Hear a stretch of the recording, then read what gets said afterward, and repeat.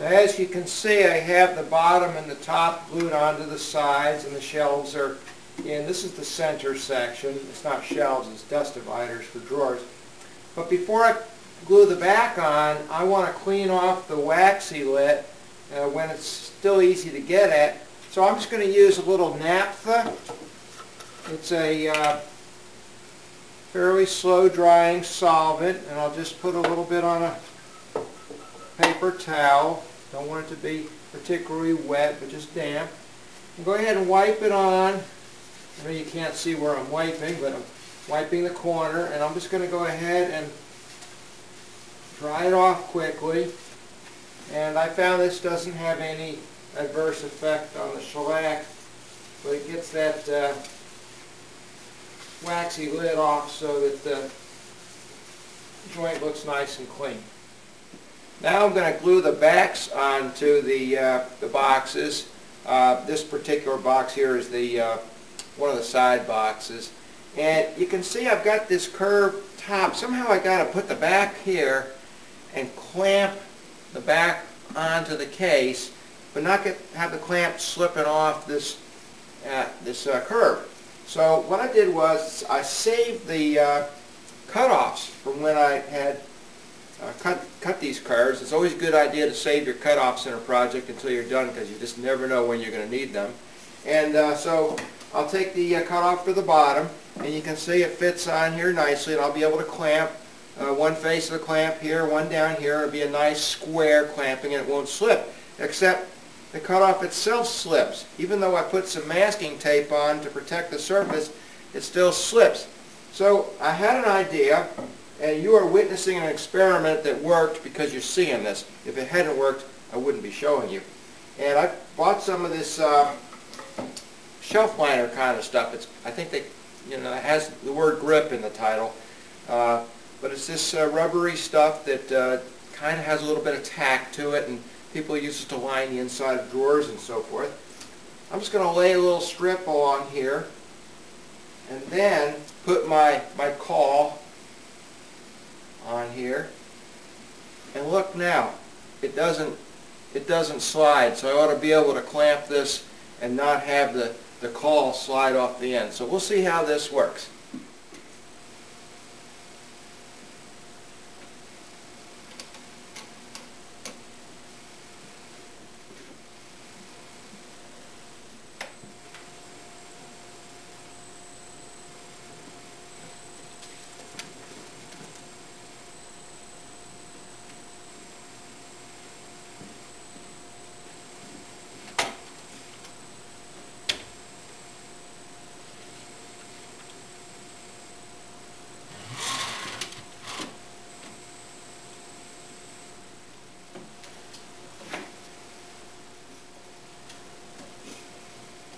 And here's the entire glue up. Uh, you can see I put little pads on the bottom uh, of the uh, clamps. These are just little piece of paper towel just to give a little bit more padding to the already uh, soft plastic that, that's used on the clamp.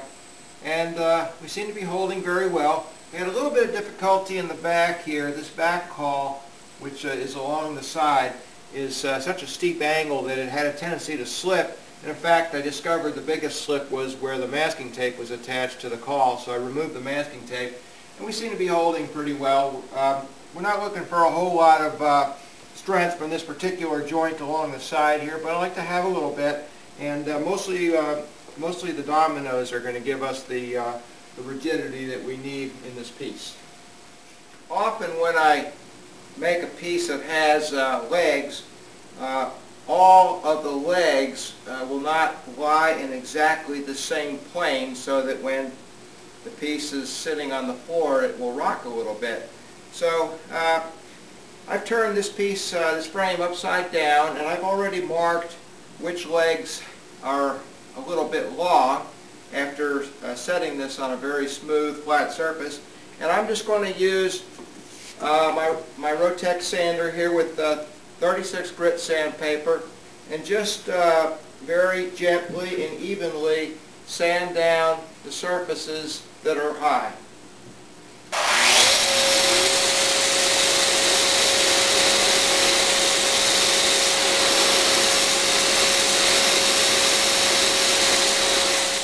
With the feet now squarely on the floor, uh, I'm going to go ahead and level off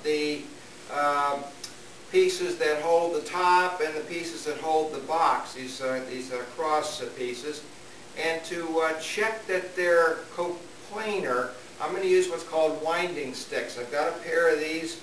You can make these uh, or I purchased these myself. I, um, these are precision, but uh, you lay it the winding stick on the surface. You have another winding stick on the opposite surface that you're trying to square up.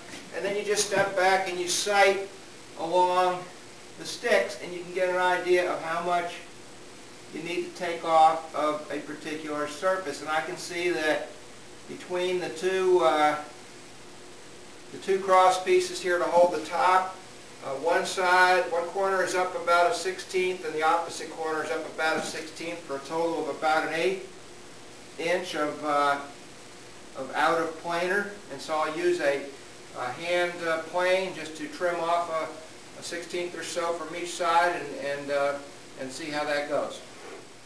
Now I've gotten through planing all of the cross pieces that hold the carcass boxes and I found that this very last cross piece is just a little bit low.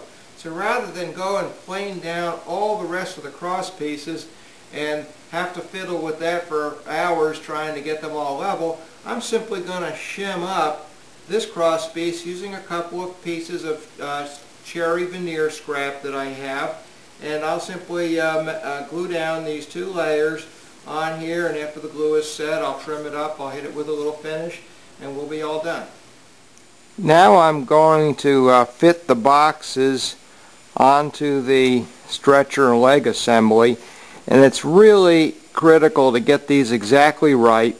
The curve on the front of the boxes has to match the curve of the front stretchers. There can't be any gaps, you know, discontinuities with the curves and at the same time the the backs need to be flat and all in the same plane and all the heights have to be the same uh, and the gaps between the boxes have to be parallel they can't be wider at the top than they are at the bottom so it takes a, quite a bit of finagling to get these exactly right and then I mark where the bottom stretchers intersect the boxes so that I can then take the boxes off, drill holes where they'll be screwed into the bottom stretchers. Normally on a cabinet I like to use nice brass hinges. In this case I would have used nice brass butt hinges. But the problem is, is that the door overlays the side here so the pivot point is such that when the door opens it would actually contact the leg because the door is thicker than this distance between the box and the leg. So in, in this case I'm going to go ahead and use some, uh, some Blum European uh, style hinges that are specially made uh, with a 15 degree angle on the hinge. And here I've got a mock-up of the installation of the hinge. Uh, this piece represents the side and this piece represents the door. You've got to use your imagination. But you see, when it's uh, attached, you open the door and the door slides and never passes the plane, the outside plane of the side. And that'll make it so the door can open and close and never be interfering with the or with the uh, the leg. Very nice. Here's a quick uh, quick explanation of how I attach these uh, these concealed hinges for the doors. Uh, I have to attach a small mounting plate on the inside of the cabinet and I've got some holes drilled, uh, or marked, excuse me, to drill. And uh, once that mounting plate's attached, the hinge itself clips onto the mounting plate like that so that the hinge is then attached and this part of the hinge is what fits into the door itself. So the first thing I have to do is drill a large uh, inch and 3 8 inch hole, not all the way through the door, and into that fits the, the hinge that then gets screwed into place. So you attach the hinges to the door and then you just clip them onto the mounting plates that are already inside the case. And now you can see how the doors look mounted to the respective cabinets. They open nicely, there's no interference with the leg.